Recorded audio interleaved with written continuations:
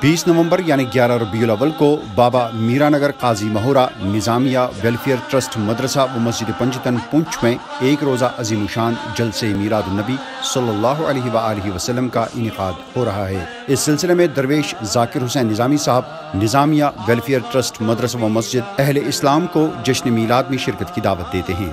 اس موقع پر حضرت علامہ مولانا مفتی محمد یعقوب وحیدی رام پوری صاحب ایک خصوصی بیان فرمائیں گے۔